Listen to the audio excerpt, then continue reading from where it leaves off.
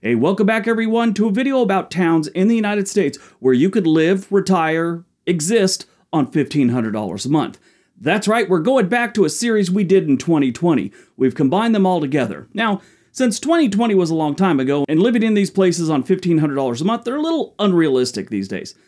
As we get to each one, I'm going to tell you how much you should probably add on to each one of these places here in 2024. Now, this was a really popular series we had. A lot of people liked it. And when I started doing these compilation videos, a lot of people asked for this one too. So we're going to start with the one that started the series off, which was just all through the United States. We picked like 10 from across the country. After that, we broke them down by region. Let's take a look.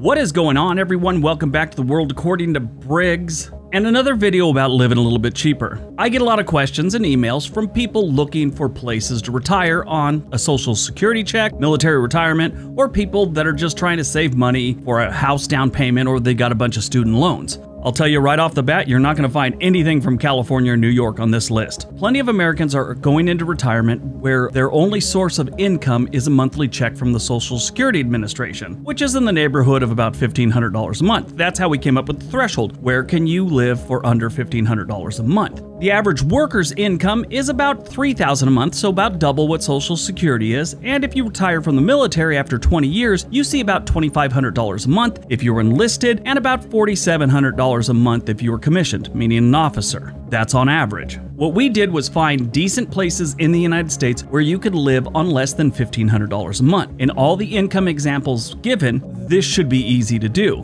Now, obviously, there's different expenditures that we're not counting in here. This is just the average person. This is going to be what the average person needs to eat, buy clothes, medicine, pay for housing, utilities, etc., and came up with the best towns in the US where you could live for the $1,500. If you guys really like this video and want to know about more places like this, I've got at least 50, so I could do at least five videos like this. Let me know in the comment section below. If we get enough likes on this video and enough views, we'll definitely do it, because this one's kind of interesting and a lot of people ask for it. All right, let's take a look.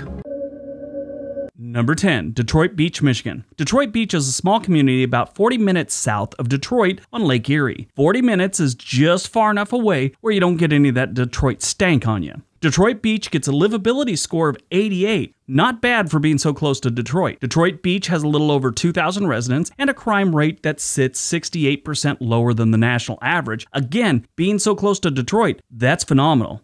If they could just get the word Detroit out of their name, the place would be really appealing to most. Detroit Beach is almost all single family homes, but rent in this area averages around $750 a month for a two bedroom apartment. The average person can live on $1,469. Number 9. Apache Junction, Arizona. Whenever I hear of Apache Junction, I think of that movie Bad Santa. Billy Bob Thornton played a Santa, and he's just a loser, but this kid sits on Santa's lap, and then he looks at him and goes, Hey, your beard's fake. And he's all, Yeah, it is. And the kid's all, What happened to your real beard? Billy Bob Thornton said, The hair fell out. The kid asks why, and Billy Bob Thornton said he got sick. The kid said, Why? again. And he Billy Bob Thornton said, I loved a woman who was unclean. And then the kid goes, Where? And he's all, I don't know, kid, Apache Junction. Anyway, Apache Junction is quietly picking up steam for retirees. It is a suburb on the east side of Phoenix. About 33% of the residents here are over 65, and their only real knock is the schools aren't the best, and that's according to Area Vibes. Everything else, their stats are great. The average one bedroom apartment rents for just $482 in Apache Junction so you'll have extra money to do whatever. The average monthly expenditure in Apache Junction is $1,405. Number 8. Carnegie, Pennsylvania.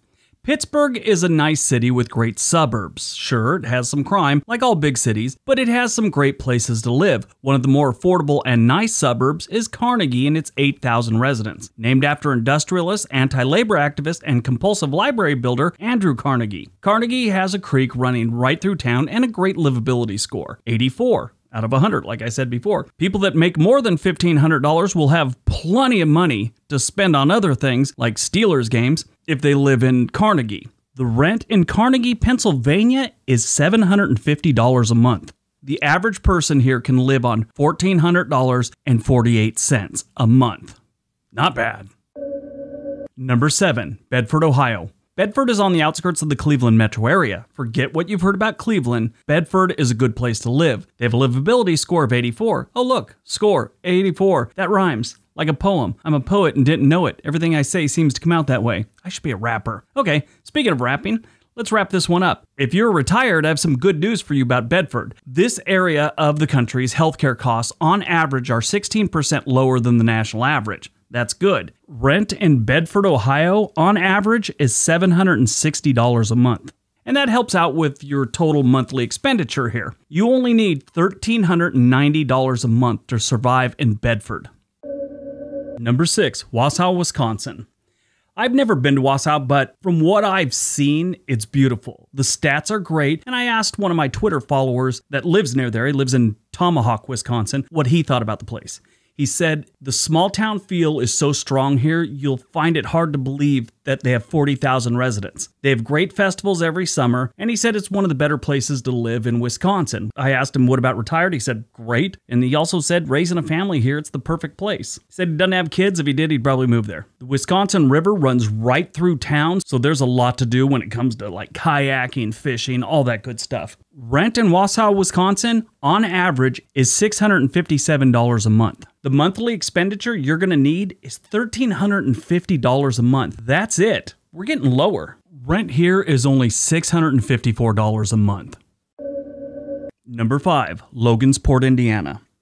A lot of towns in Indiana are getting a second look in the last year or two. Retirees and people that work remotely are finding places to live in Indiana's towns. Mostly because it's cheap, Indiana is filled with good people, and it doesn't have many jobs, and that helps make everything cheap. So, if you're bringing a job with you or you're retired and you really don't need one, Logansport is a perfect place for you. The livability score is 77, which isn't the best on this list, but it's it's respectable. Logansport has under 20,000 residents, two rivers, and a really low cost of living. They have a little bit of crime here, but it's not crazy. And stop typing. Everyone always seems to think that their town is the worst when it comes to crime. Don't get your street cred in the comment section of a YouTube channel. Logansport is not that bad. And stop typing again. You don't need to live there to know that. Don't fear stats. Don't fear numbers. The average rent in Logansport is $630 a month. That is solid. The total monthly expenditure you're looking at to live in Logansport? $1,301. Not bad. Number 4, Holly, Michigan.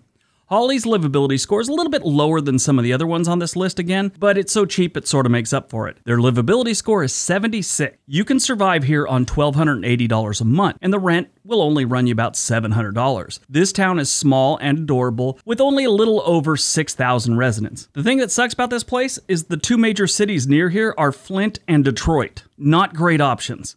Sort of like having to choose between a toothache and hemorrhoids. Number 3.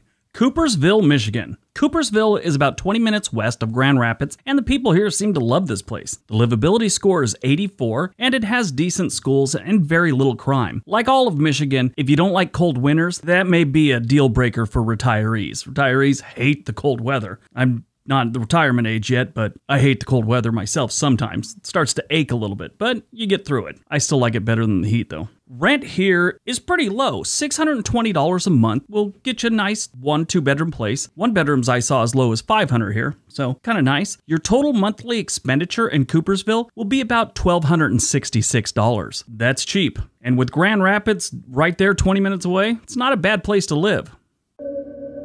Number two, Blair, Nebraska. Blair, Nebraska is one of those towns we have all across America that probably wouldn't be there if it wasn't for a train. Blair was even named after John Insley Blair, who was a giant businessman in the rail industry way back when. Blair is just off the Missouri River and it's surrounded by farmland about 30 minutes north of Omaha, Nebraska. This place is a nice place to live. Very little crime, schools are decent. It gets cold in Nebraska, let's face it. It's no Arizona.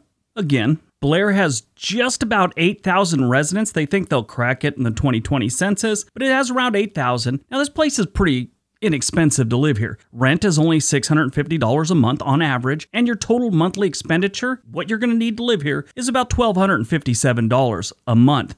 That's it. Now, I keep saying a month because if I don't, people will ask, well, what's that 1257? Is that a month or is that a year? I get ridiculous questions like that all the time. I'm not even kidding. It's kind of scary sometimes.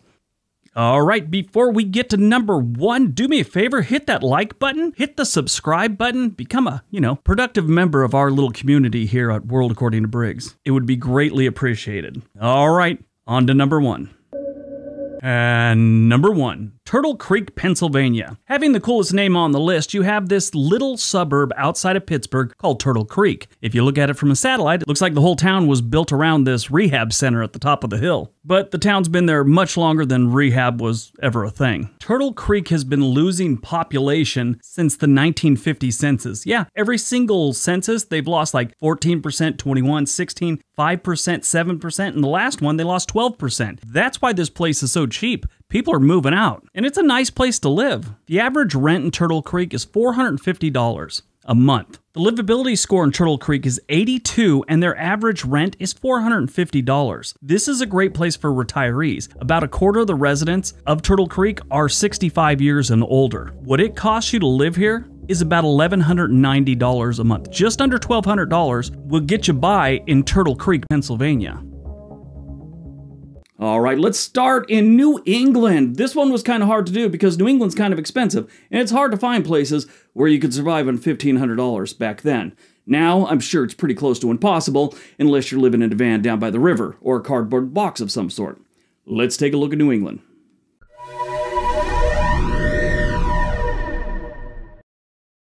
All right, let's find you a new place in New England. Number 10, Central Falls, Rhode Island. Central Falls is a suburb in the Providence metro area with about 20,000 residents. It's not the greatest part of Rhode Island, but it's not the worst. It's not the cheapest, but it's definitely not the most expensive. It also just barely made the cutoff for this list. Central Falls is the only place from Rhode Island that you get today because it's frickin' expensive in the ocean state. Central Falls is on the Blackstone River. And as one person put it, this isn't where I wanted to end up in life, but it's not that bad. So it's, I mean, that's kind of a nice review, maybe. Who knows? Rent here on average for one bedroom is about $825 a month. To live comfortably in Central Falls, you're going to need exactly $1,500 a month. Like I said, barely made the cutoff. Number 9. Springfield, Vermont.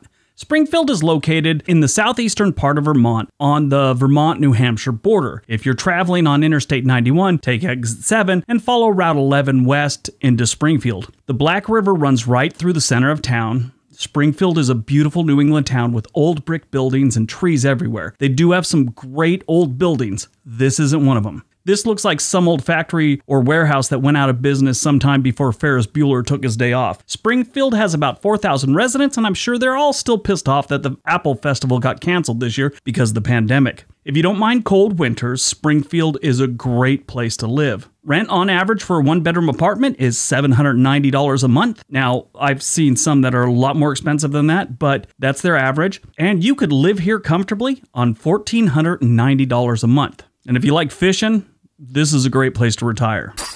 Number 8, Lisbon Falls, Maine. Lisbon Falls is a small town of just over 4,000 residents on the Androscoggin River. The thing I like about Lisbon Falls is it has some of the lowest crime stats I have ever seen. They're next to no crime in this place. The town is famous for its Moxie Days. It's a celebration of a soft drink called Moxie, which is sold at a corner store by a man named Frank Anicetti. I believe that's how you pronounce the name. He's famous. He's like the Moxie guy. The store's official name is Kennebec Fruit Company, but it's commonly referred to as the Moxie Store. Sadly, it's now permanently closed. Frank passed away in 2017. I did watch this one video where Stephen King used to hang out there when he was waiting for his ride after school while he was in high school. He went to Lisbon High. Anyway, this is another place they say has great fishing. I've never fished there, but they say it's good. If you want to live here, rent on average for one bedroom is going to run about 768 and you could live comfortably here on $1475. Number 7, Berlin, New Hampshire. Berlin sits in a heavily forested region on the Androscoggin River. This town was built on lumber and paper mills. They had a paper mill employing most of the residents for decades. In the early 2000s, the paper mill went bankrupt and a lot of people were left unemployed. They never really recovered from that. These days, they're transitioning to green energy production and they have a prison up the road, so it employs some of the people. Don't head here looking for a job. If you work remotely or are retired, they'd love to have you. If you want to rent here, you're only looking at $745 a month on average, but you might as well look into buying a house. A livable house that needs a little work will be be under $100,000 in Berlin, New Hampshire. I'm not even kidding. They have some that are livable, and yeah, you will have to put some paint on it, maybe fix a few things. You can get for under 70,000. You only need $1,460 to live comfortably in Berlin, New Hampshire. Number 6. Newport, Vermont. Newport, Vermont is a lake town not too far from the Canadian border. Newport is on Lake Memphremagog, which is a lake that crosses the Canadian border. About 75% of this lake is in Canada. I always like border towns for retirees. Most need medication that costs double in the United States versus Canada, so you're just a short drive from cheaper meds. Side note to that one, it has gotten easier to get medications from Canada in the last few years. But that one's a political football, so who knows what it's going to be like in a couple years from now or 10 years. If you look at downtown Newport, you'll think that there's no way this place could be a cheap place to live. It is. Rent on average is $725 a month for one bedroom, but you might as well just look into buying again. $150,000 will get you a livable house that needs a little work. I saw some that are under 400,000 that are on the lake. Lake house for under 400,000. That's hard to pull off. To live comfortably in Newport, you need $1450 a month. Number 5, Adams, Massachusetts.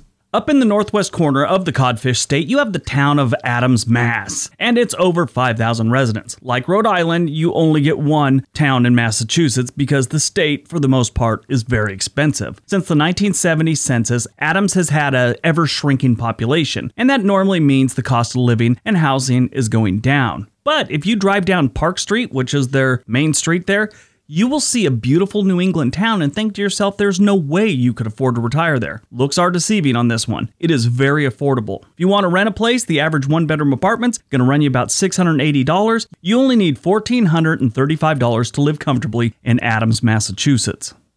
Number 4, Littleton, New Hampshire. Sitting on the Connecticut River near the White Mountains, you have Littleton, New Hampshire, and it's almost 5,000 residents. Like most New England towns, this is a nice looking place. Littleton is surrounded by forest, and it looks like if everyone left for a year, it would be reclaimed by nature, and you probably'd have a hard time finding it from the air. Really, this place just has trees everywhere. It's totally green. I mean, right at the edge of the town.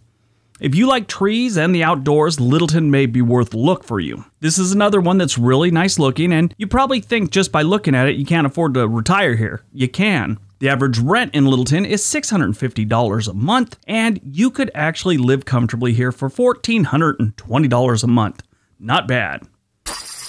Number 3, Machias, Maine.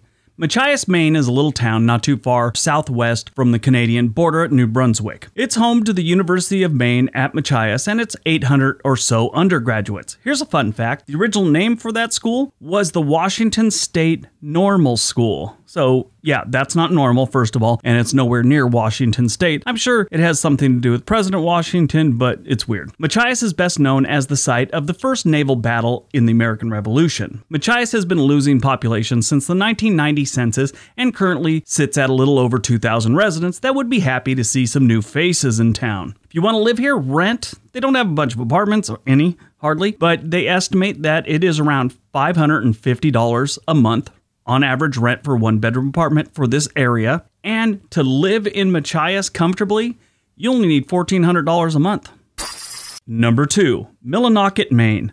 Millinocket was first settled in 1829 by Betsy and Thomas Fowler and their family who cleared land for a farm. Then, in 1894, a train showed up and the place started growing and it continued to grow up until the 1970s when they started losing jobs. They've been losing people ever since. Millinocket is a nice little town, and it was the setting for the movie Bluebird starring Kylo Ren. This town has decent stats across the board except for schools. Their stats, uh, they're middle of the road, kind of meh. Nothing special. But they have no crime and plenty of cold weather. They get cold here. As one local described it, she said, The winters get so cold you hope your husband fattens up for the winter so you don't have to. I thought that was nice. Rent in Millinocket, if you know, you can find rent here, is $547 a month on average for one bedroom, and you only need $1,400 a month to live comfortably in Millinocket. And before we get to number one, don't forget to hit that like button hit that subscribe button, become a member of our little community. Really helps out the channel the more subscribers we have. All right, on to number one.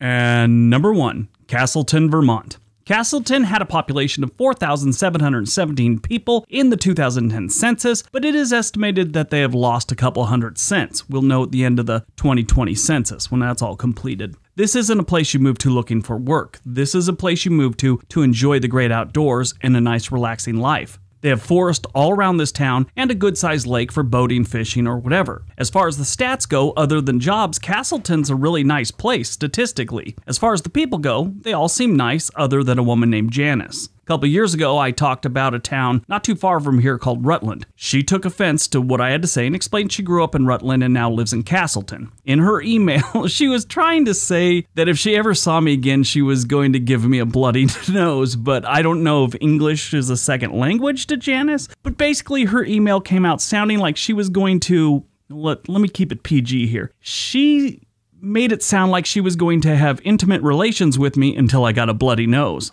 I told her I didn't think that was possible, but if my wife was okay with it, I was willing to try in the name of science. Never heard back from Janice. Castleton University is located here with roots dating back to 1787. They have the original medical school for the Green Mountain State, which was chartered here in 1818. The building's still there. It's kind of neat. Castleton is a great place to retire or just live if you can work remotely or you're retired. Rent here is a little bit more than some of the other ones on this list at 626 on average a month, which they don't have many places to rent. That's just for the area basically, so take that for what it's worth. But you could survive in Castleton for 1350 a month comfortably.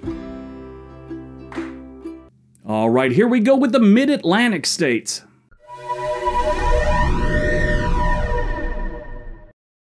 Are you thinking about retiring or just moving to the mid Atlantic region of the United States? If so, that's what we're looking at today. Where in the mid Atlantic can you live or retire for under $1,500? First things first, what is the mid Atlantic? There are a few different maps on this one. Some say Pennsylvania, New York, Maryland, Delaware, New Jersey are the mid Atlantic states, while others include the Virginias, which are also lumped in with the South sometimes. Today we'll be including the Virginias since they got skipped on the Southern video in this series. And a quick note New Jersey is in the mid Atlantic, but it didn't make the list. Any place that you could live for under $1,500 wasn't that nice of a place, or it didn't have around a thousand residents or more, which is what we're shooting for here. So, to recap, why are we doing $1,500? Well, this is how we figured it. Out of all the standard retirements, Social Security only, civil servant, military, Social Security was bringing in the least monthly, which on average is about $1,500 a month. We aren't adding up all the expenses, just rent, food, utilities, clothing. You know, just the basics. These are designed to give the average person an idea of what it might cost if you move to one of these places. You know, if you don't have a car, you don't need to add that in, but if you do have a car, you want to add your insurance, it's different for everyone. The basics are rent, food, utilities, and clothing. All right, let's see where you can retire or just live on the cheap in the mid Atlantic region.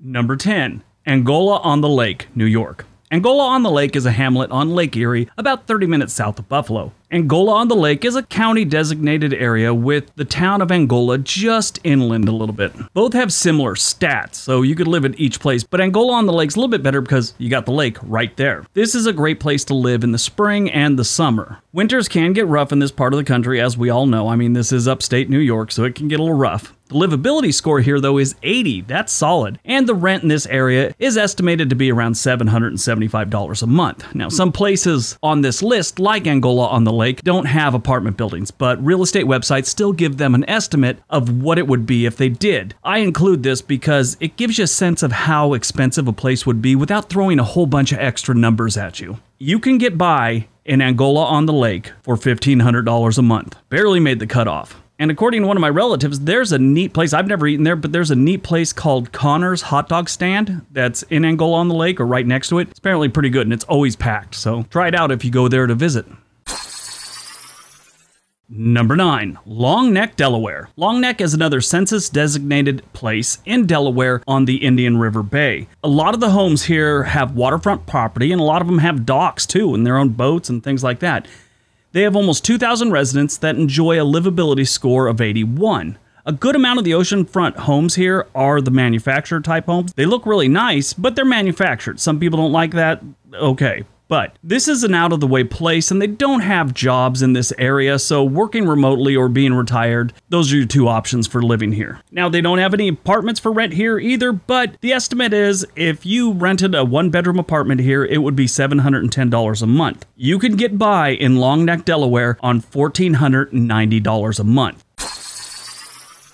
Number 8. Bowling Green, Maryland. Bowling Green is an unincorporated community and census designated place again in Allegany County, Maryland. As of 2010, it had a population of just over a thousand residents. It's right outside of Cumberland, Maryland and it is nothing like Cumberland, Maryland. Cumberland sucks. Bowling Green is a nice small community of just over a thousand residents, like I said. Almost 25% are in the retirement age bracket, and it's on the north branch of the Potomac River, so it's got a lot of things going for it. It gets cold and stuff like that. They also have a nice prison right down the road. It's called the Western Correctional Institute. It has Yelp reviews. I'm not even kidding. The people seem to think it's a nice place and the guards are pleasant. I don't know about that. I don't want my guards being pleasant. Shouldn't guards be horrible and mean? And have Yelp reviews where people talk about how he found his prison hooch in the toilet and took his shank and stuff like that.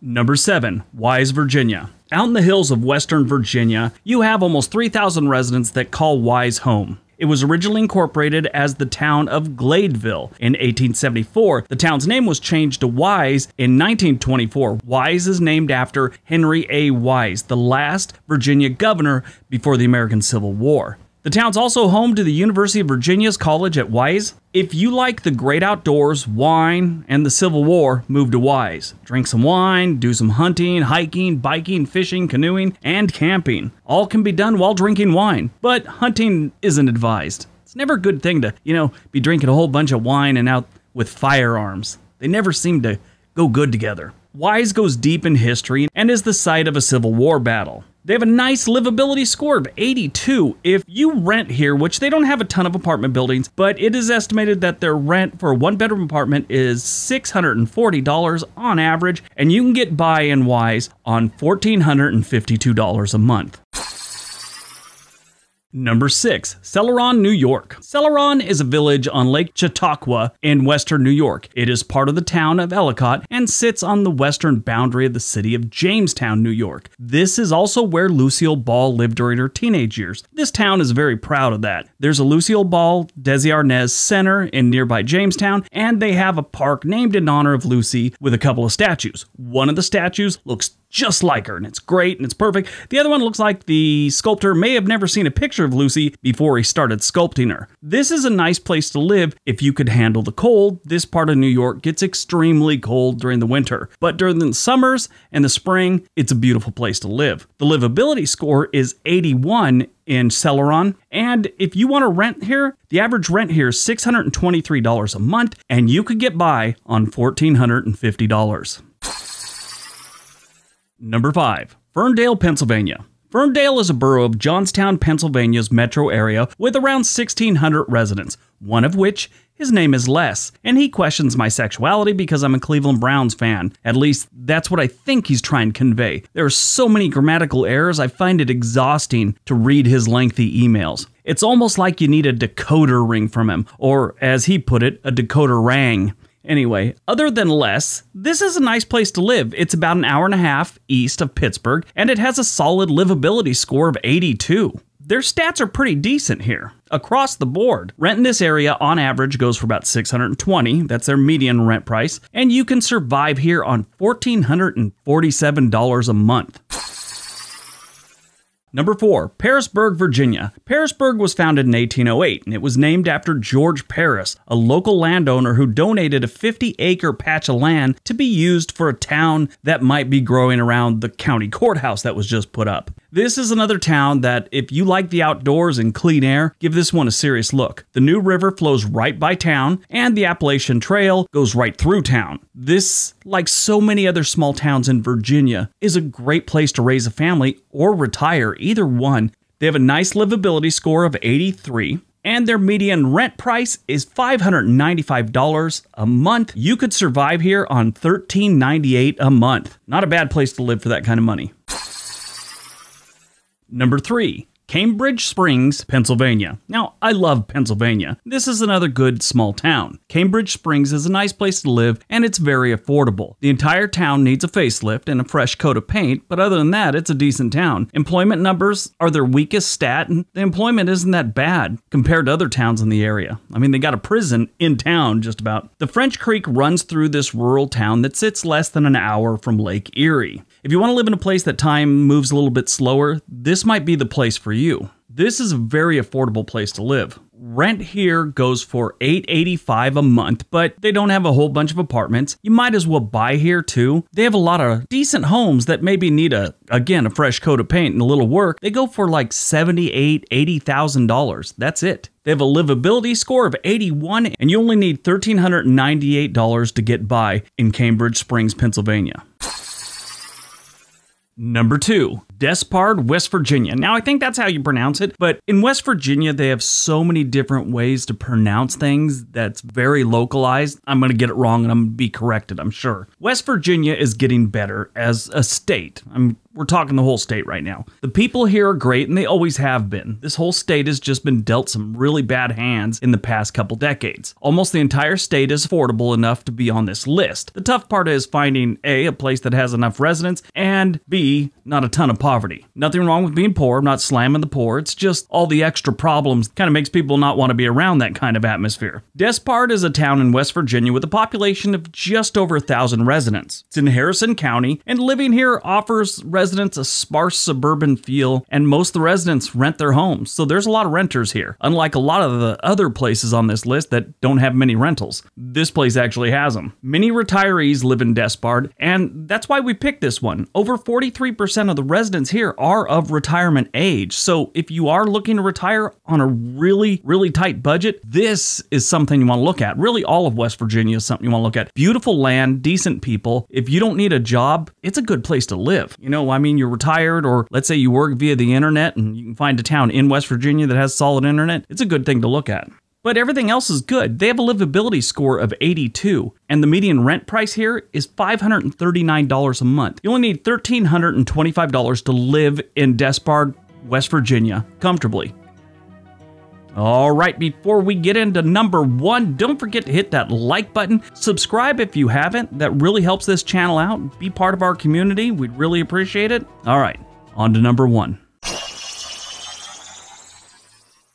And number one, Knox, Pennsylvania. Knox is a borough in Clarion County, Pennsylvania, about an hour and a half north of Pittsburgh. Here's the thing about Pennsylvania. I've spent a lot of time visiting small towns in Pennsylvania over the last couple of years. 90% of them are great places to live. This is one of those. Stat wise, their only knock is amenities. They're a little bit out in the sticks, so they don't have things like Walmart and they do have a place called the Pizza Shop, though. I imagine they sell pizza there. I mean, they don't have any fancy name like, you know, Pizza Hut or Giordano's or some Italian name. It's just called the Pizza Shop. How much thinking went into that name? From what I've read, it's pretty good. I've never eaten there. The employment numbers here are decent, which is odd for being such a out of the way place. They got decent job numbers. That's kind of strange. They have a little over a thousand residents and they take care of this place. It's hard to find a rundown home in Knox, Pennsylvania. The livability score is 82 and their median rent price is $483. You could get by in Knox, Pennsylvania on $1,300 a month. All right, heading to the left side of the country, the western United States. Let's take a look.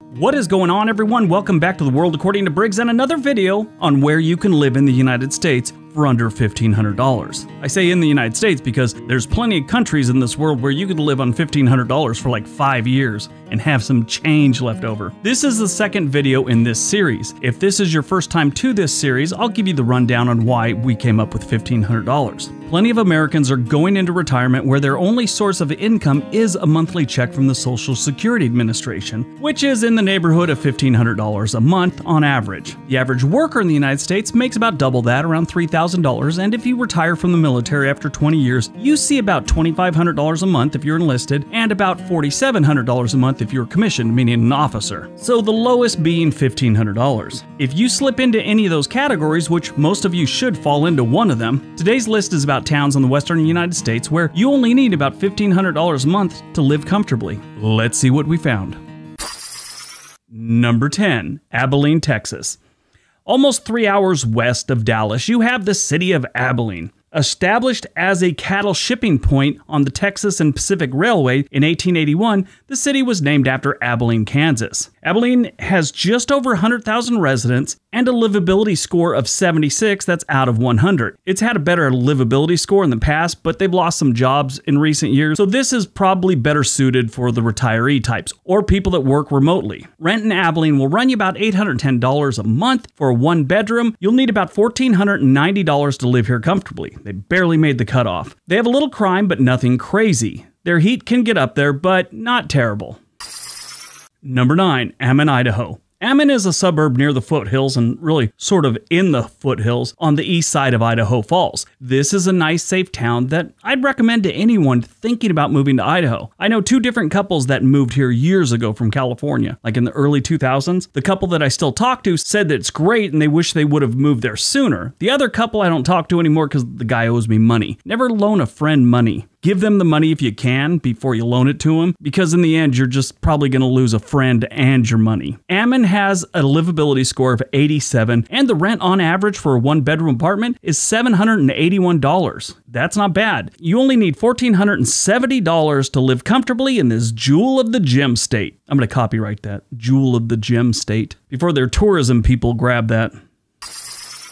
Number 8, Blythe, California. Yeah, you heard me right. I said California. But Blythe isn't the California you see on TV. This is in the middle of the desert, and actually, it's straight out the 10 on the Arizona border. So, yeah, it's a little bit out there in the California outback. Blythe isn't my cup of tea because I hate the heat, and Blythe has a lot of heat. Like your fake eyelashes will melt off your face type heat. That's how one girl explained it. The best part of Blythe is the Colorado River. It's right there, runs right along town. It separates California from Arizona. So that gives you a lot to do. A lot of people there are river people. It's a river town. Blythe feels like a small town, even though it has over 20,000 residents. The only real knock, if you don't mind the heat, I should say, is they don't have any jobs. It's they just don't. There's none out there. This is a retirement place, or like I said, is probably best suited for people working remotely or retire types. The good news is rent here is only $714 a month on average for one bedroom, and you're only going to need $1,465 to live comfortably in Blythe. Their livability is kind of low at 67, and that's because of the job thing, and their schools aren't the best. That's according to a couple different websites. Number 7. Clarkston, Washington. Now we're getting into some cheap rent. Clarkston was first settled in 1862 and was officially incorporated on August 14, 1902. The name Clarkston is a reference to William Clark of the Lewis and Clark expedition. Right across the Snake River in Idaho to the east is Lewiston, Idaho, named after Meriwether Lewis. I love that. That's like this little cool piece of geographical trivia of the United States. Now, they have about 7,500 residents living in this little town on the Snake River, and they all really seem to like it. The livability score is 73, and you only need $1,425 a month to live here. A one bedroom apartment will only set you back $655 a month. Number 6, Del Rio, Texas. Del Rio, Texas is a solid option for anyone that doesn't mind the desert life. It is a really great option for the military retirees that might be watching this. Laughlin Air Force Base is just to the east of Del Rio. So if you've got PX and commissary privileges, life is even cheaper for you. The livability score here is outstanding. It's 84, with the job market being the only knock. It's not terrible, it's just not great. Now here's the good news. Rent for a one bedroom apartment in Del Rio is only $633 a month on average. That's cheap. You only need $1,410 a month month to live comfortably in Del Rio. Mexico's not too far from there, right across the Rio Grande. There's some farmland in between the Rio Grande and Del Rio. It's a nice place. I've been through there on the train. I have a friend from there, military friend. He still lives there. Actually, he lives out by the lake now, but he grew up there. He loved it. I think mostly loved it because his family was there, but it's a nice city. Number 5, Burley, Idaho. Burley is about an hour east of Twin Falls on the Snake River. This is another river town. They always have something going on on the Snake River here. So you know, this part of the river is very calm, almost lake-like. It gets a little crazy after the dams they have downriver with rapids and waterfalls and all that nonsense. Around Burley, this is a great place for like boating, wakeboarding type things. Burley has a little over 10,000 residents and a 79 livability score. Rent on average here is $620 a month. You'll need about $1,400 to live comfortably in Burley. That's not bad at all. They have very little crime in Burley and plenty of things to do. Number 4, Pendleton, Oregon. Pendleton is one of the better towns in eastern Oregon. This is the part of Oregon that doesn't have many trees, baristas, protesters, or much rain. They get rain, don't get me wrong, just not nearly as much as the Portland area does. This is a great little eastern Oregon city. They have almost 17,000 residents, and most their stats are pretty good. Their employment isn't the best, and their schools aren't the greatest, but they've got plenty of things to do. The cost of living is really cheap, and they don't have much crime. It'll run you $615 a month to rent one bedroom here here, and what you need to survive here and live comfortably is only $1,400. Number 3, Hawthorne, Nevada. Now, we've talked about Hawthorne before, and a subscriber named Carlos Hernandez reminded me of this place, so I looked it up and it fits the criteria for this in a big way. It is a military base called the Hawthorne Army Depot right outside of town. That's the main source of income for the town, the base. It's where everyone works, the ones that do work. They also have Walker Lake, which is why we talked about it before. Supposedly, there's a secret alien base entrance below the surface of the lake. Yeah, I know, it's weird. There's apparently this whole network of tunnels where these aliens live there, and some guy who's an alien expert, claimed he worked for the government and had a, a, shootout with aliens underground one time, and that's how he lost his fingers. Or he was playing with fireworks. We're not really sure. Now, there's no apartments here, but homes rent for less than $800, and you can actually buy a livable home in Hawthorne for as low as $65,000. Yeah, if you buy one for 150,000, you're living like a king. You only need $1,290 a month to live in Hawthorne comfortably. Save up your money because you run into an alien, maybe you can purchase one of their laser guns from them.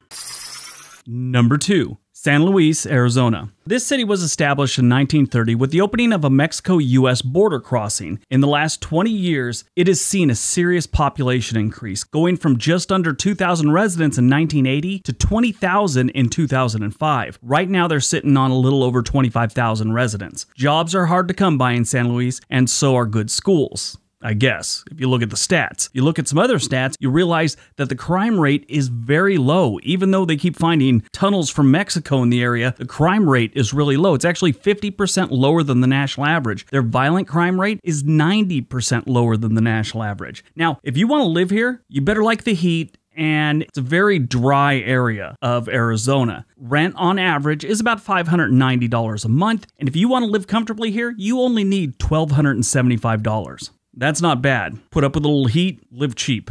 And before we get to number one, don't forget to hit that like button, subscribe if you already haven't, become a member of our little community here. It'd be really appreciated. Share this on your social media, all that good stuff. All right, on to number one.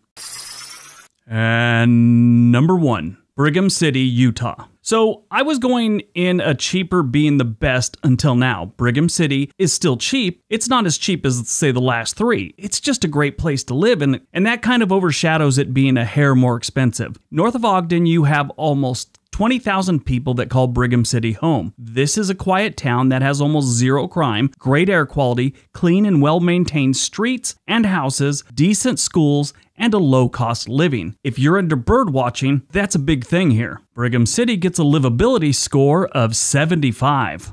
Rent will set you back about $620 a month on average, and the average person only needs about $1,310 to live comfortably here. This is my top pick for the best places under $1,500 in the western states. So, what was your favorite? Let us know in the comment section below. All right, now to where I currently live, the Pacific Northwest. Let's take a look.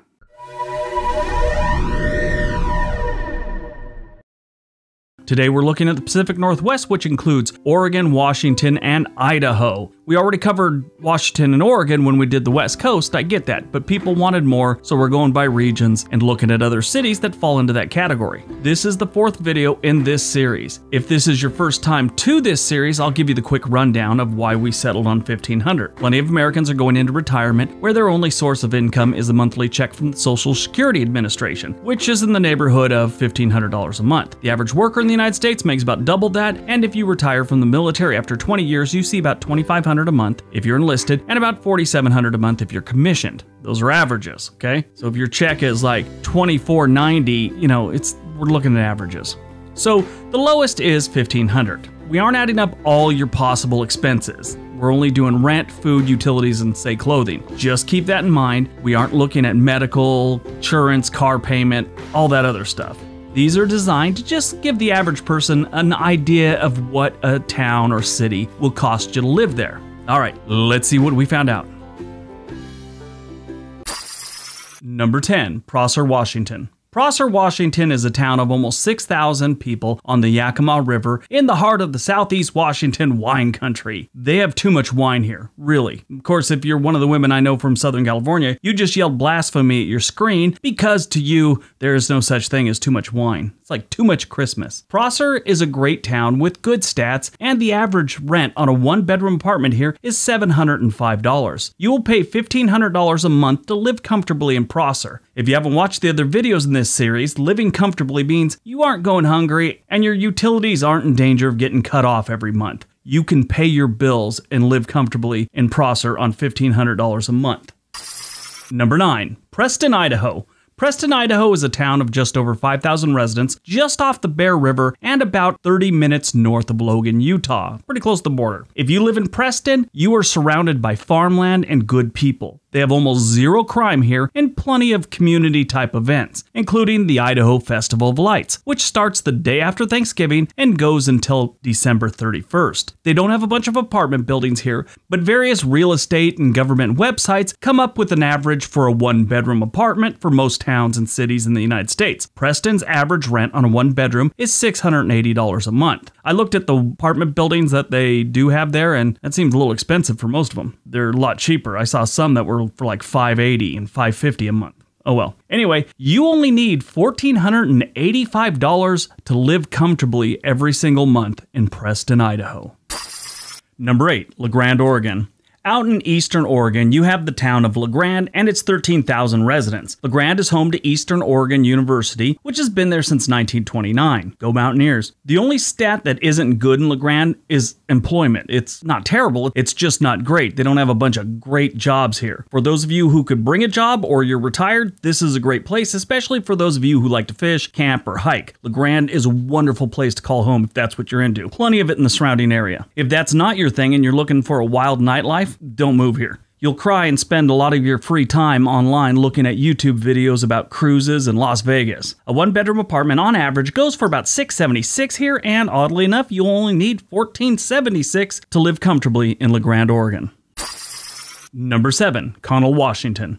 Connell, Washington is another place that doesn't cost a bunch to survive. I'm sure part of the low cost of living here has a lot to do with there isn't anything to do. You save a lot not having a reason to leave the house to be entertained. But if you're looking to save money and live an uneventful life, rent a U-Haul and head to Connell, Washington. I have a relative, she lives not too far from there, north of there. Anyway, she said the Burger Factory, which is a restaurant there, doesn't look like the best place to eat, but it's really good. So she said stop by there and try it out if you're in the area. She actually lives in a town called Ritzville, like putting on the Ritz, you know? Ritzville is not ritzy at all. They've only got like a thousand people. It's out in the middle of nowhere. Anyway, Connell's stats are solid until you get to schools and employment. Again, not terrible, just not great. They have very low crime and a cost of living that could be considered dirt cheap. A one bedroom apartment goes for $667. You only need about $1,471 to live comfortably in Connell, Washington. Number 6. Moscow, Idaho. Russia and Idaho both have a Moscow. The cool thing about the Moscow in Idaho is the secret police don't show up at your house in the middle of the night and make you disappear. Moscow is on the Idaho-Washington border, about 45 minutes north of Lewiston, Idaho. We talked about Clarkston, Washington in a previous video. Lewiston, Clarkston, Lewis and Clark, they're right across from each other. One's in Idaho, one's in Washington. Anyway, that whole thing is about 45 minutes south of here. This is a town that has become a popular migration point point in the last couple of years. The University of Idaho is within the city limits and it doesn't have a lot of jobs within the city limits. Everything else, stat wise, is outstanding in Moscow, Idaho. This is a good sized city with about 25,000 residents and plenty to do. The whole job thing, like I've said many times before, if you're bringing a job with you, working remotely, or you are retired, Moscow is a solid option, especially if you want to be in a city versus some small town. This is a good place to live. A one bedroom apartment on average is going to be about $658 a month, and to get by here, you only need $1,450 a month. Not bad. Number five, Payette, Idaho. Payette is north and a little west of Nampa, Idaho, on the Snake and Payette River. Originally named Boomerang, yeah, I'm not kidding, but this was when it was a construction camp for the Oregon Short Line from 1882 to 1884. Logs were floated down the river to sawmills at the camp, and they produced railroad ties. After the completion of the railroad, the settlement was moved upstream to its present site and was incorporated in 1891 as Payette. No more Boomerang. I think they should have kept Boomerang. Sounds kind of cool. This is a quiet little town of about 8,000 residents. The only stat that doesn't get a good grade here is the schools. So if you're retired, chances are your kids are too old for sixth grade math and you don't have to worry about it. But if you do have an adult child struggling with sixth grade math, maybe move someplace with better schools. That's my advice to you. Rent here is only about $644 a month for a one bedroom apartment, and you only need $1485 to get by comfortably in Payette, Idaho. Number 4, Baker City, Oregon. South of La Grande, Oregon, you have the town of Baker City, and it's almost 10,000 residents. It was named after Edward D. Baker, the only U.S. senator ever killed in military combat. Yeah, Spanish American War. I guess he never got that memo that you only vote to send young men to war when you're a senator, not actually go with them. But hey, at least he did his duty, right? And he got a town named after him. The Oregon Short Line Railroad that we talked about earlier came to Baker City in 1884, spurring some growth, and by 1900, it was the largest city between Portland and Salt Lake City. It was also a major trading hub for the region. In 1910, Baker City residents voted to shorten the name of the city to just simply Baker. The name change became official in 1911. Another vote in 1989 restored it back to Baker City. Baker City has decent stats all around. And you aren't too far from mountains, lakes, and rivers. If you're the outdoors type, this is a great place. It's surrounded by farmland, there's no other real big cities near it, so it's a nice place to relax and enjoy a nice quiet lifestyle. The rent here for a one bedroom apartment is estimated to be $625 a month, and you only need $1,412 a month to live comfortably in Baker City.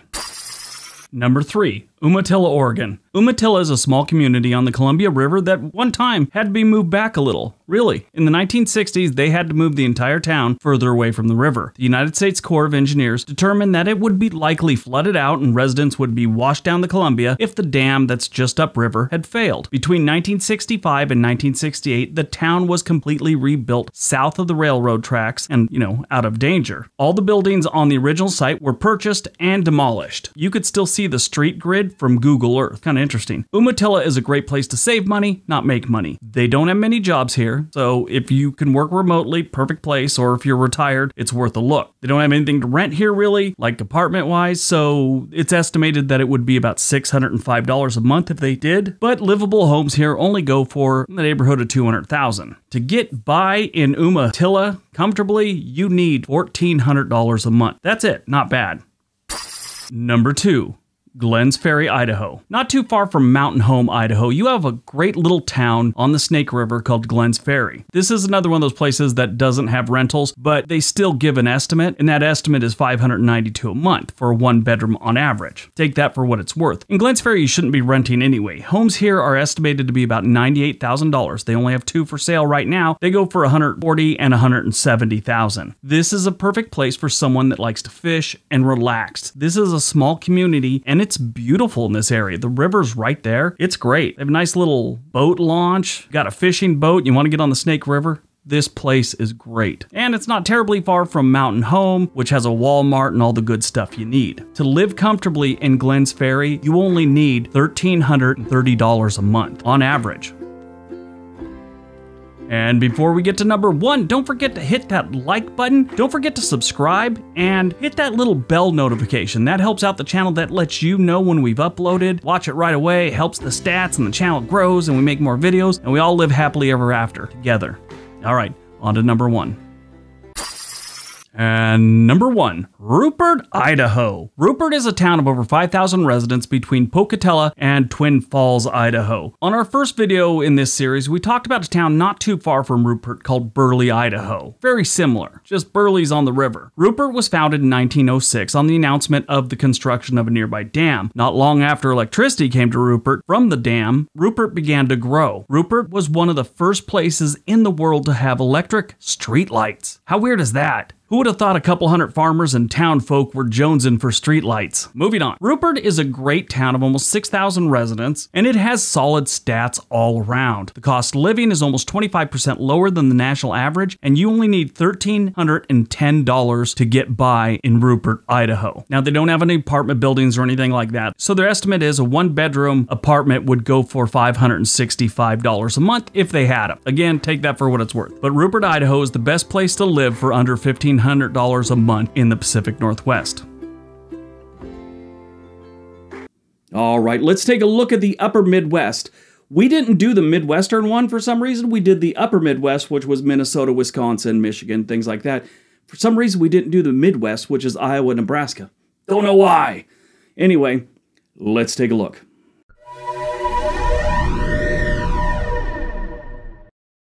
On these lists, we have looked at the cost of living, state taxes, and things like rent on a one bedroom apartment. Some towns don't have apartment buildings, but different websites like the US Census Bureau still have an estimate on what rent would be for this area if they had apartments. And I put that in these videos just to give you an idea of what it might cost to live in this town. We're not adding up every expense, we're just doing rent, food, utilities, and clothing. We aren't looking at medical, insurance, car payment, etc., etc. These are designed designed to give the average person an idea of what it'll cost you to live here. All right, let's see what we found in the deep north.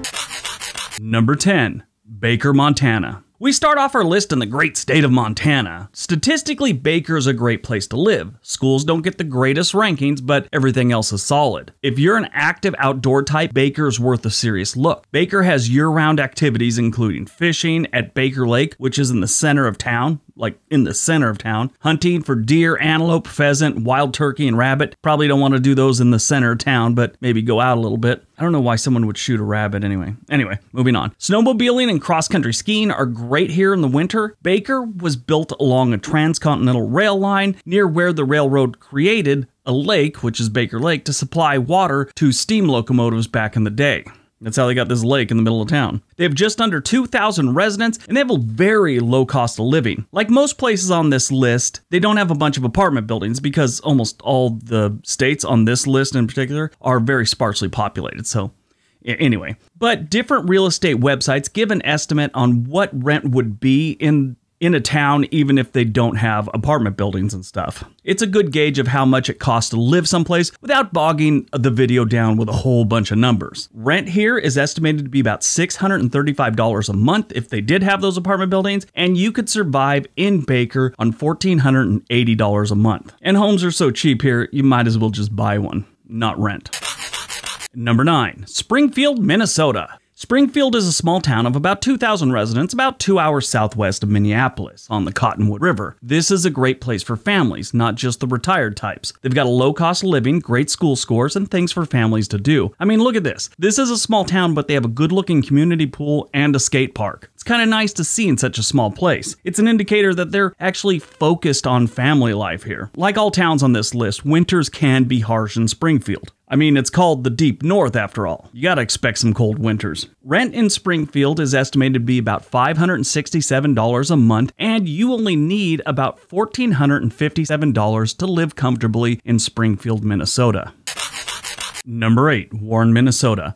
Warren, Minnesota sits on the Snake River about 30 minutes from Grand Forks, North Dakota. This is a town of only 1,500 residents and it has great stats across the board. This is the type of town that has so little crime, I'm sure the local police deal with livestock issues on half their calls. This is another town that has some things that surprise me, like a hockey rink. Well, actually, that one didn't surprise me. This is Minnesota after all. What is surprising is they have a golf course, tennis courts, and a community pool. 1,500 residents is normally too small to have things like that. I mean, all of them. You might have one or the other. This one has tennis courts, golf course, pool, a bunch of baseball fields. It's great. Great sign for a small town. The average rent on a one bedroom apartment in Warren, Minnesota is $559 a month, and you could survive here on $1,456. Not bad.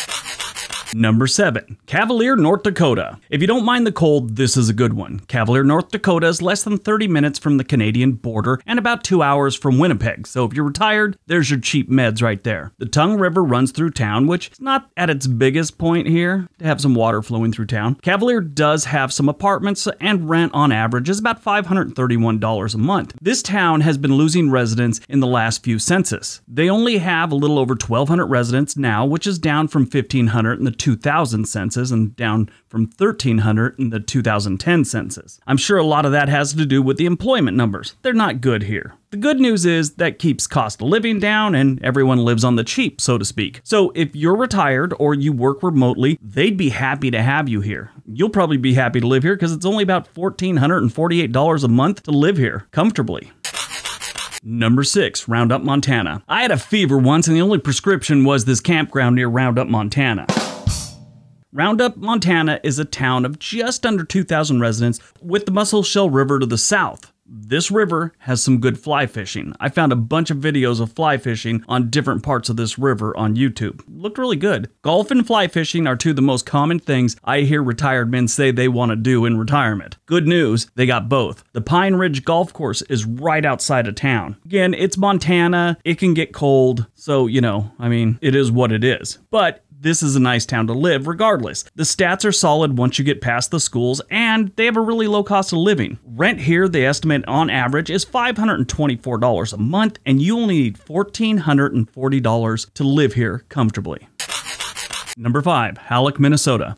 Hallock has some of the best stats on this list. It would probably be number one if it was a little bit cheaper, but it's really nice, so it's gonna be a little more expensive, but not terrible. This is a smaller community with about a thousand residents and a whole lot of peace and quiet. Out by itself in the northwest corner of Minnesota, just over 20 miles from the Canadian border on Two Rivers. That's the name of the river, Two Rivers. It's not I'm saying there's two rivers here and not telling you the name. That's what it's called, Two Rivers. Hallock is a place for world class bird watching, camping, and golfing snowshoeing, cross country skiing, and snowmobiling. That's what their website says. This looks like a great little community. They have an incredible video that I watched, and it just looks like a wonderful place. I've never been to Hallock. I'd love to go. Love to just visit this place. It looks like such a nice small town. Again, their biggest knock is going to be the cold weather. If you can handle the cold weather, this is a great place to live. Rent here goes for about $515 a month, and you could survive on $1,440 in Hallock, Minnesota. Before you go, make sure you master the one finger wave. That's not a middle finger thing, it's a hello with just your index finger while you're driving. They all do it.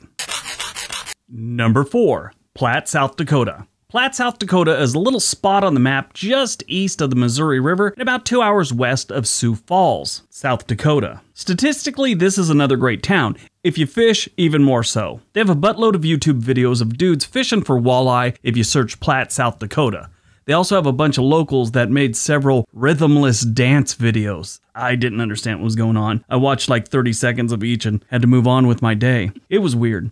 Anyway, this is a great place for retirees that want to have things just slow down a bit and relax. This is a nice, quiet town with like no crime, no nothing, and it's cheap. If you want to rent a place here, which there's not many of, but like we said, it's their average, $510 a month is their average here. You could survive in Platte, South Dakota on $1,437 a month. Number 3. Madison, South Dakota. We talked about Madison not too long ago in another video. This is such a special town, it deserves a second round, and they also have a white buffalo statue out in front of a car dealership that I'm jonesing to take a selfie on. Statistically, it's a good place for anyone to relocate to, and it has over 7,000 residents, so it's not some small burg out in the middle of nowhere. This is a good sized town. People that visit here or move here have a tendency to never leave. If you want to rent a place here, the average for a one bedroom apartment is $505 a month. That's the average. They do have some other ones that are a lot more expensive, but that's their average. And you only need $1,436 to survive comfortably in Madison, South Dakota. Number two, Cooperstown, North Dakota. Cooperstown, North Dakota is a nice, quiet town in the middle of North Dakota. It's kind of far away from everything. Schools are the only thing besides weather that really isn't ranked as good in Cooperstown, North Dakota. They have a nice little downtown, which surprisingly doesn't have half the shops boarded up. That's a sad sight in most of the small towns these days. Main streets across America have far too many empty storefronts. Cooperstown Main Street, which is called Burrell Avenue, or Burrell, whatever you want to call it, appears to be in really good shape. Got a couple banks, a pizza place called Pizza Ranch, coffee place, a theater. They got all the things you need. They're about an hour and a half northwest of Fargo, and that's the biggest city around them. Everything else is just little tiny nothing towns. And then you got Cooperstown. Cooperstown, kind of small itself, it only has about 1,200 residents. If you want to live in Cooperstown, you're looking at paying their average. They don't have a bunch of apartment buildings here, but they figure it's about $479 a month to rent a one bedroom apartment here if they had a bunch of them. And you only need $1,419 to live comfortably in Cooperstown. And before we get to number one, don't forget to give the video a big thumbs up. If you haven't subscribed, please do so. Want to get to a million subscribers someday? And don't forget to leave a comment and tell me which one of these on this list was your favorite. All right, on to number one.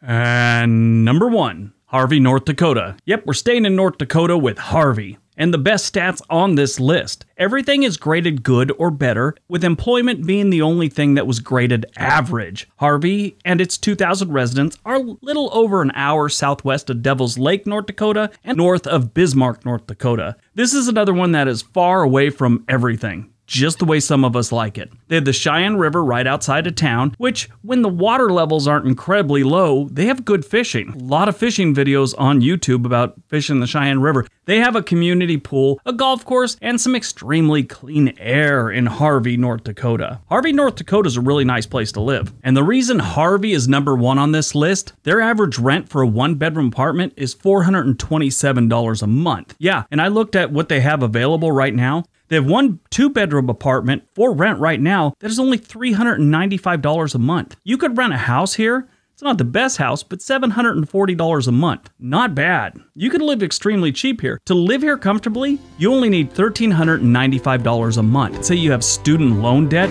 this is a great place to live and put some money away. All right, now we get to the one that was the most popular in this series, the southern states. All the other videos have like 1.2 million, 1.5 million. This one has like 2.7 million uh, views as of right now. So that's pretty cool. Let's take a look.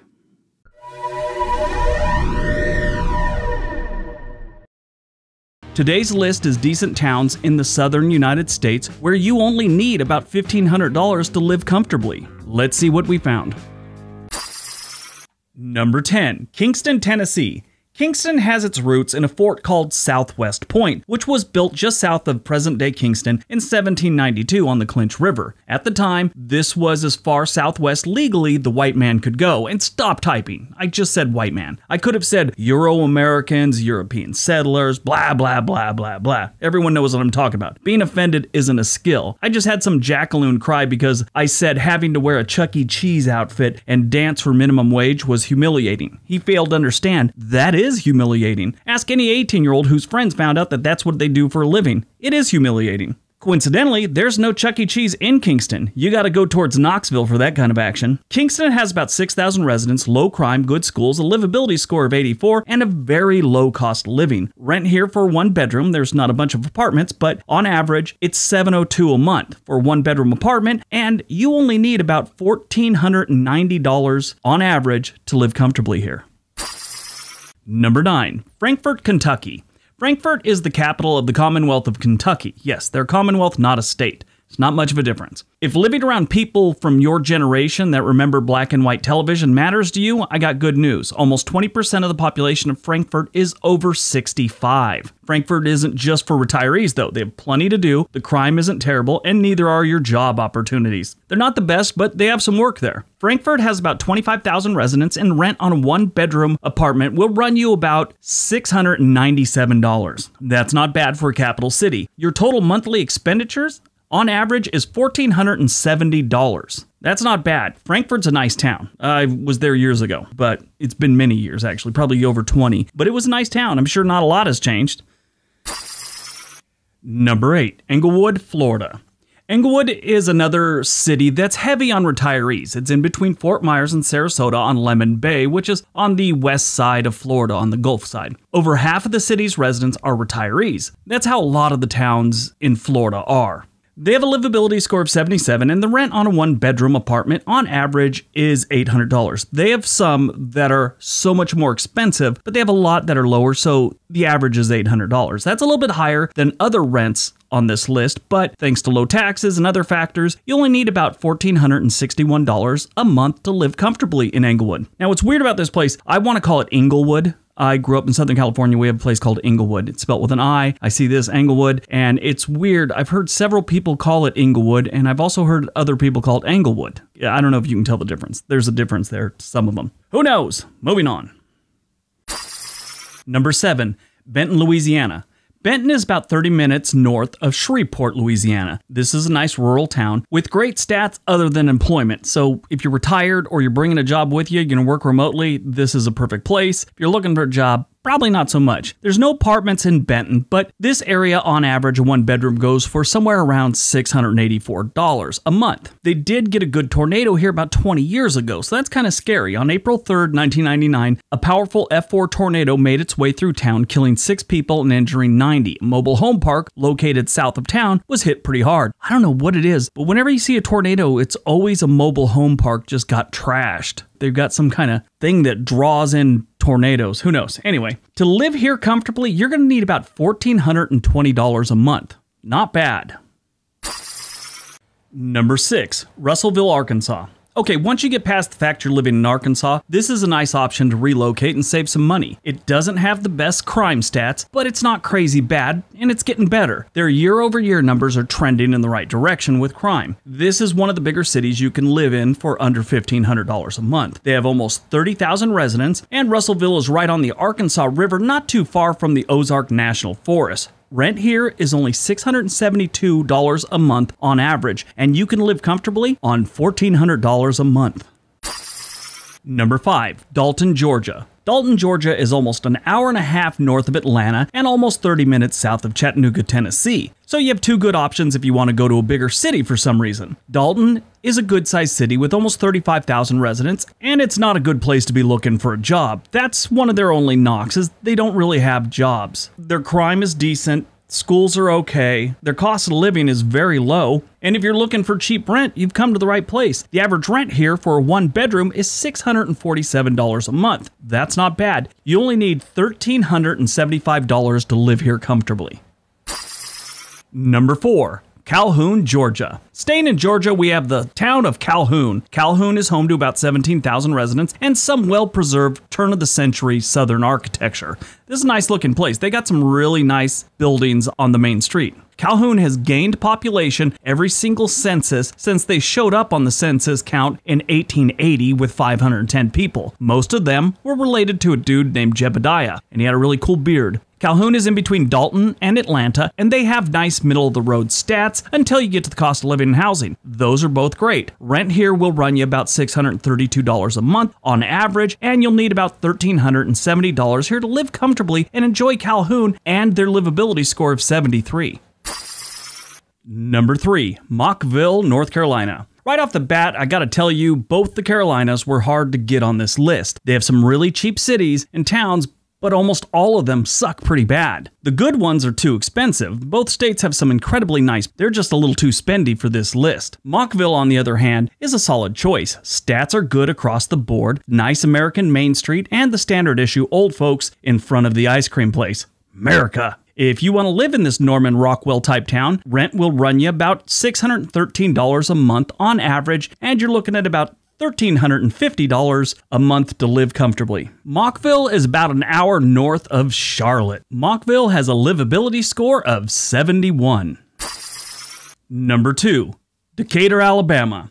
Decatur is one of those cities that make you wonder where all those Alabama stereotypes come from. Like if you just landed in Decatur and no place else in Alabama, you're all, what is everyone talking about? People aren't hicks. Decatur is a nice southern town that is growing and advancing while not getting too far from its southern roots. In other words, this town doesn't have many rednecks. If you do see them, they're probably just in town to pick up some hog pellets. This is the first place on this list to get below $600 in rent. You can expect to pay around $590 for a one bedroom apartment in Decatur. Throw in very low grocery costs, and this could be a good place to save some money. To live comfortably in Decatur, Alabama, you need about $1,340 a month. Rent is $590, like I'd said. And the livability scores? 74. Not a bad choice. And before we get to number one, don't forget to hit that like button, hit that subscribe button, join our community. Really helps out the channel when we got a whole bunch of subscribers and you leave comments and give the videos a big thumbs up. All right, on to number one. And number one, Columbia, Mississippi. I'll wait for you to get back into your chair and close your mouth. In case you think you misheard something, I did say Mississippi.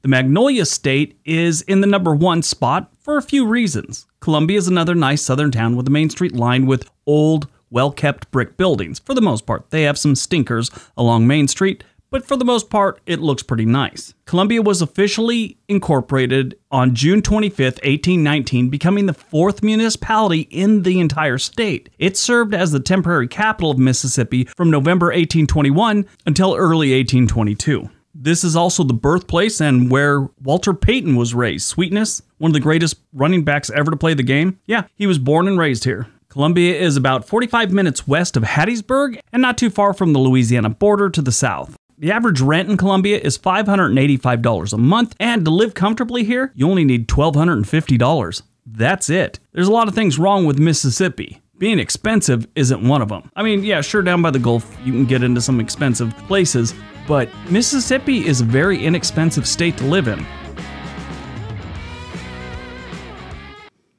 All right, let's take a look at the Southwest.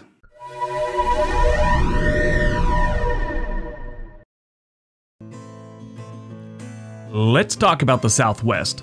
What is going on, everyone? Welcome back to the World According to Briggs. My name is Briggs. I travel, I make videos, and I once had a gorilla at a Texas zoo throw his droppings at me. Not totally sure why he did it or why I just told you about it, but there it is. Man next to me said, What'd you do to him? Still don't know. Today we're continuing our series on where you can retire or live on $1,500 a month. If you haven't seen the other ones, here's a quick recap. Why are we doing $1,500? Out of all the standard retirements, Social Security brings in the least monthly, and that's $1,500 on average. We aren't adding up all the expenses, just rent, food, utilities, and clothing. Just the basics. These are designed to give the average person an idea of what it might cost to live in each town or city, not getting all in depth with what your car insurance might be and what your medications, that varies for everyone. This is just the basics. Okay, so the Southwest region is Texas, Arizona, New Mexico, and Oklahoma. Let's see what we found. Number 10, Wellton, Arizona.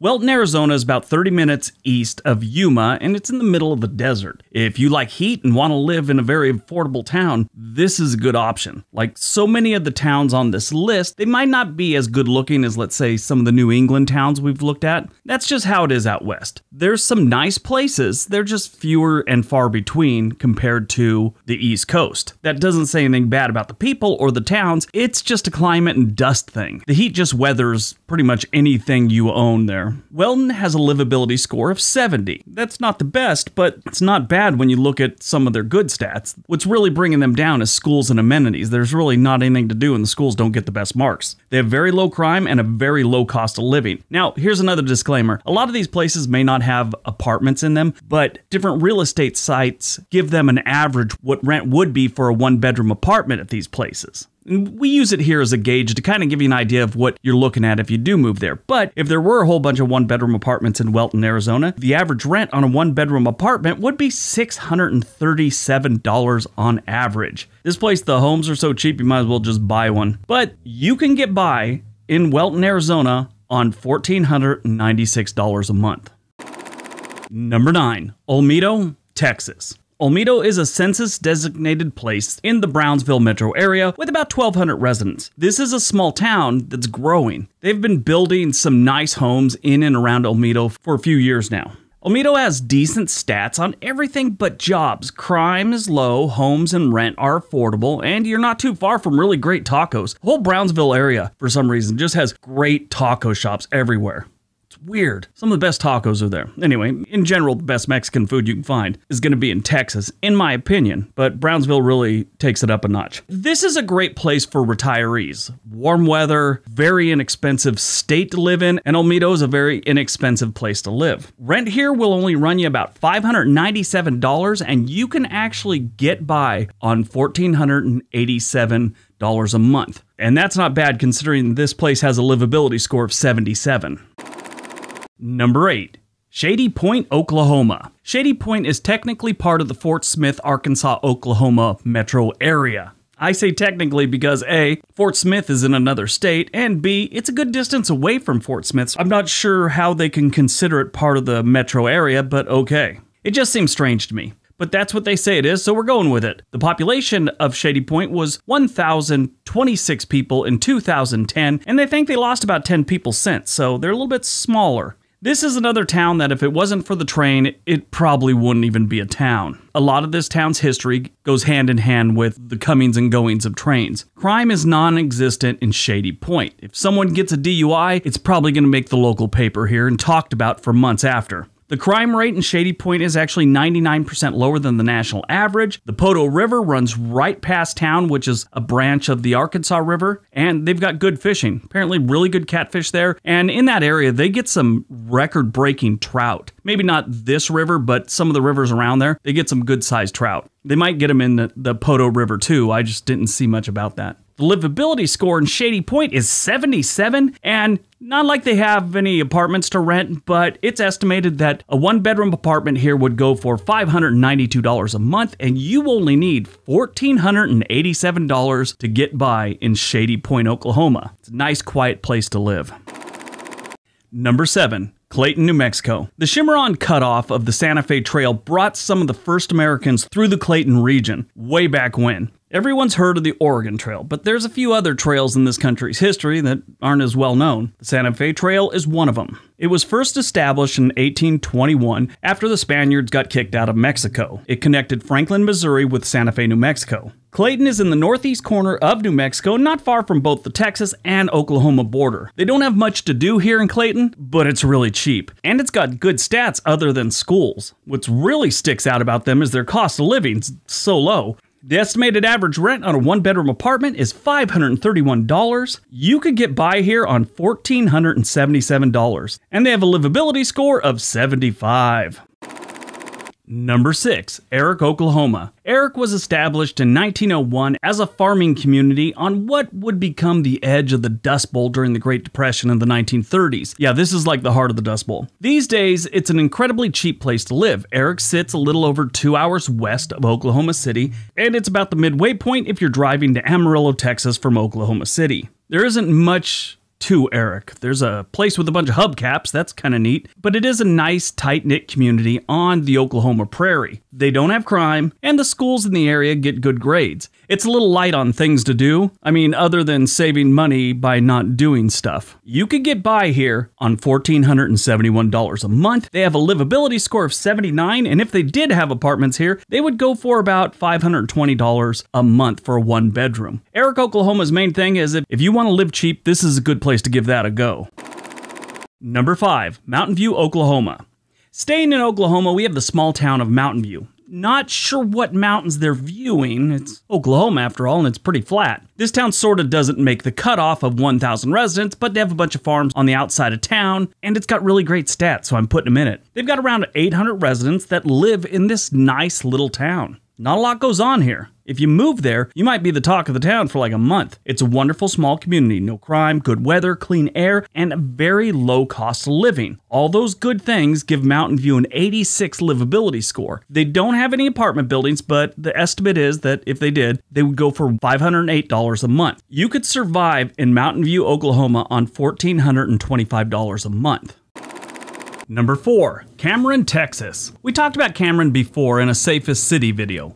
Cameron is safe, it's clean, welcoming, and is close to one of my favorite cities in the country, Austin, Texas. Cameron is a little over an hour northeast of Austin, Texas, with the Little River flowing just to the south of town. Cameron is named after Ewen Cameron, a Scottish Highlander who fought in the Texas Revolution and was a member of the Muir Expedition, or Meyer Expedition, however you want to pronounce it. This was during the war with Mexico. This is one of those great Texas towns that has like a Christmas parade, barbecue shootout, steak and stein wine fest, warehouse of horrors during Halloween. And it's cheap. The estimated rent on a one bedroom apartment in Cameron is $500, and you only need $1,390 to get by in Cameron. Now, they do have a livability score of 75, and that's really because they don't have any jobs there. If you are bringing a job with you, they'd love to have you. If you're retired, move to Cameron. It wouldn't be a bad choice. Unless you hate Texas, then don't even think about it.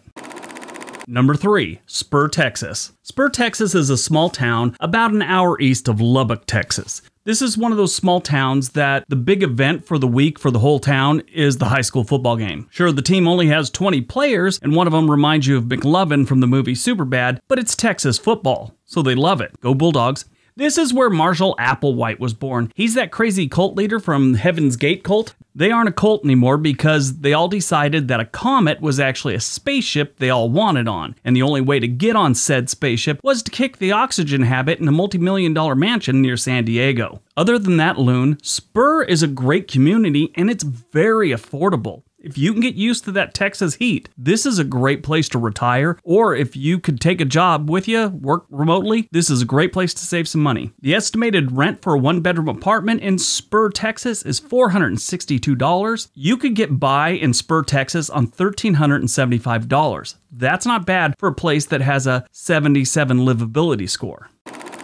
Number 2, Santa Rosa, Texas. Santa Rosa is a small community of just under 3,000 people, about 15 minutes northwest of Harlingen, Texas. Santa Rosa is about 25 miles from the Gulf of Mexico, which is a really good thing. This is South Texas. It gets hot. You want to head someplace and spend a weekend out of the heat? The Gulf of Mexico is where you go. March, November, and February are the most pleasant months in Santa Rosa, while August and July are the least comfortable, with temperatures just, you know, the type of heat where you stick your head in the refrigerator for about five minutes every day? Yeah, every hour sometimes. Yeah, that gets rough. Santa Rosa is a farming community with not many farming jobs. That and amenities are the only things really wrong with this place.